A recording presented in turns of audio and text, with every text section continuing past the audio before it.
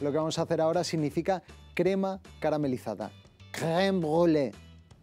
Crème brûlée para los amigos o crema caramelizada.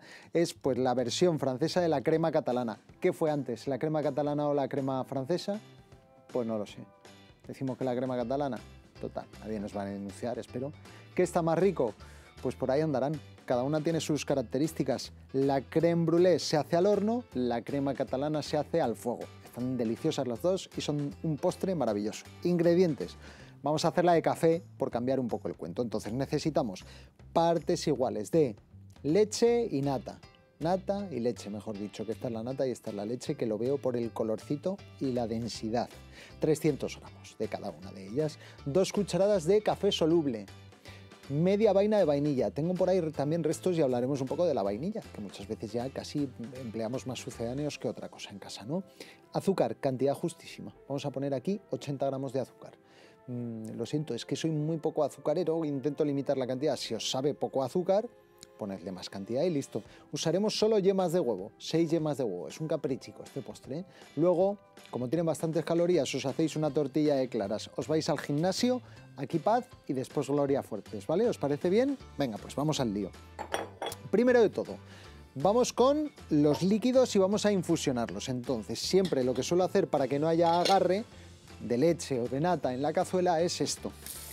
Echo agua, humedezco escurro y aunque parezca una tontada, funciona. Esa primera capa de humedad evita, no hace milagros, ¿eh? si se te olvida en el fuego, lo primero se te va a salir, lo segundo se te va a agarrar. No hace milagros, pero sí que evita bastante el agarrón. Entonces ponemos por aquí la nata, una buena nata, siempre para montar, que no paráis de preguntármelo. Nata para montar, nata para cocinar, ¿qué nata usas, Iranzo? Solo uso nata para montar. Ya está. Nada para cocinar no uso. Si acaso uso leche evaporada en los guisos y eso, pero ya está. Bueno, por aquí subimos un poco el fuego, me da tiempo. Para hacer una infusión se hace siempre desde el líquido en frío, pero me da tiempo perfectamente a manejar la situación, ¿vale? Entonces tenemos por aquí, mirad, vainas de vainilla abiertas que he rascado porque el postre no, no había infusión, pues igual para una nata montada con pepitas de vainilla, pero la vaina que te queda, aunque parezca que está vacía, sigue teniendo bastante vainilla. Entonces yo voy guardando las vainas envueltas en papel film y el día que voy a hacer una infusión, pues la empleo y aquí paz y después gloria. Fuertes, otra vez, lo he dicho ya, ¿no? Pues espérate que no será la última, porque cuando se me mete algo en la mollera, puedo repetirlo 17 veces. Por aquí, media vaina más voy a utilizar. Entonces, abrimos por la mitad. Si la vaina está seca, que es el nuevo disco de calle 13, lo que puede ser, ¿no? Perfectamente podría ser. Lo que sucede es que intenta rascar y cuesta un poquito más, ¿veis? De sacar todas esas pepitillas que son las que tienen el sabor. Pero, bueno, ahí se puede. Si se rompe no pasa nada. Al final va a soltar su aroma. Igualmente. Venga, voy a intentarlo también por aquí. Venga, pues rasco y ya está. Si estuviese tan seca que no hay manera de abrirla por la mitad y de rascar con el cuchillo, no os pongáis nerviosos, que no pasa nada. Tendrá un poquito menos de aroma al estar seca, pero que vale igualmente. Echáis entera, le dais con unas tijeras, rompéis con unas tijeras y ya está. Entonces, todo esto para adentro. ¿Qué más vamos a meter por aquí? Pues de momento nada más, porque el resto de cosas, por cierto, tengo puesto un fuego 6.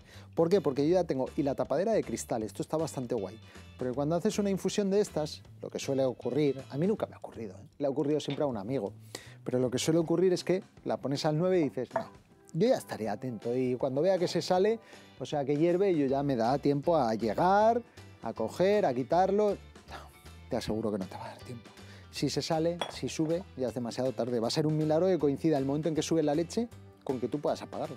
Así que pon un 6, tapará de cristal y cuando veas que esto se empaña porque empieza el vaho a, pues eso, a empañar el cristal, te da tiempo a estar un poco más atento y cuando veas que hierve, apagas el fuego y dejas infusionar 20 minutos, que es lo que tiene que estar. Y mientras tanto, vamos por acá y vamos a intentar cascar los huevos sin romper ninguna yema. Para eso siempre mejor superficie plana. Yo lo suelo hacer en la mesica, en la encimera, ¿vale? Entonces casco, meto dos dedos y abro con decisión.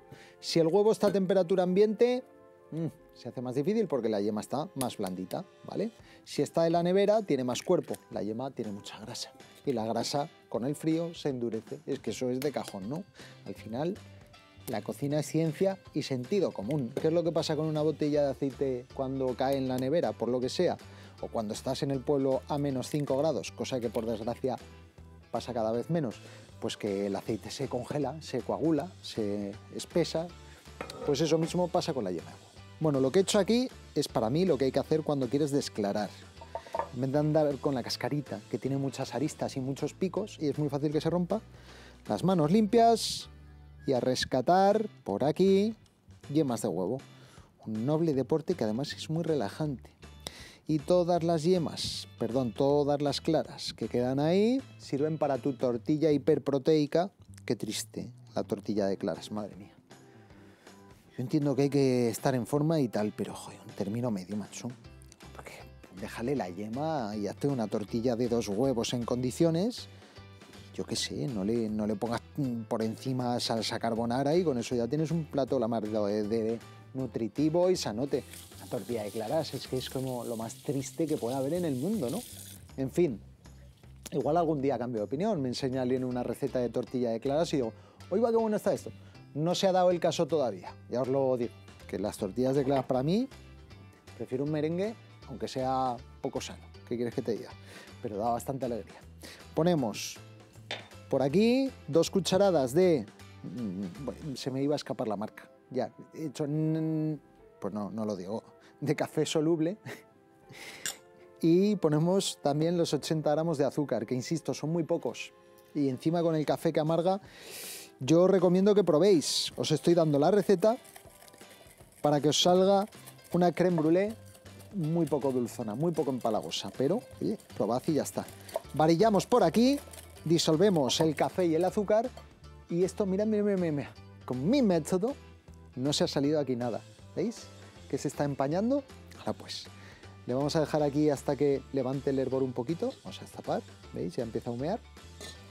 Dejamos e infusionando 20 minutos, que luego volvemos y seguimos con nuestra, venga, lo voy a decir, crème. Ahora me he hecho daño, ¿eh?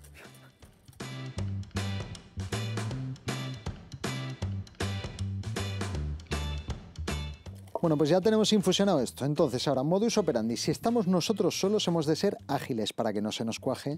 Entonces, echamos un poquito y removemos. Taca, taca, taca, taca, taca. Y una vez ya salvado ese primer golpe de contraste térmico que hay entre una cosa y otra, no os preocupéis, no os que todo va a salir bien. Vertemos ya de golpe todo. Muy bien. Varillamos. Perfecto. Lo tenemos. Muy bien. Y ahora lo que haríamos en una crema catalana sería volver a poner al fuego, llevaría un poquito de maicena también, todo hay que decirlo, y simplemente con eso volveríamos a poner al fuego hasta que espesase. Pero como no es el caso, que lo que estamos haciendo es una creme brûlée, pues oye, nos olvidamos de poner al fuego y de todo lo demás. Que por cierto, además, siendo una receta francesa, qué mejor que dedicársela a nuestro mayor fan desde Francia, a Gérard, de la, o casi no lo digo, a Gerard, de la localidad francesa de Marmande, de Marmande, y que nos ve con devoción y que la verdad es que de vez en cuando nos escribe a Aragón TV y nos manda cariñicos, cariñicos franceses que nosotros agradecemos mucho. Y fíjate tú, que siendo esta receta tan típicamente francesa, no sé si le habrá ofendido lo de la crema catalana a quien habrá venido antes y una y otra, no creo que le importe. Tiene mucho sentido del humor, Gerard. Pero ya me dirás, ¿qué tal? ¿Está a la altura esta receta? Bueno, pues déjame ahora que me concentre, Gerard, porque lo que voy a hacer es llenar poquito a poco e intentando no tirar nada, ya he puesto el agua caliente en el baño María, los moldes que vamos a emplear para luego caramelizar y que la crème se convierta en crème brûlée. ¿Qué daño me he hecho? Venga, ya tenemos los moldes llenos, nos vamos al horno. ¿Cuánto rato ha de estar en el horno? Esto es muy sencillo. Dos horas a 90 grados. Diréis, ¡hola tiempo! A 90 grados el horno prácticamente no consume. No me canso de decirlo. Es como un cochecico. Si tú pisas y te pones a 150, la agujita de la gasolina se rasca. Pero si tú lo pones a 90 por hora, te puedes ir hasta Constantinopla sin repostar. Esto es así. Pues el horno es igual. Dos horas, 90 grados.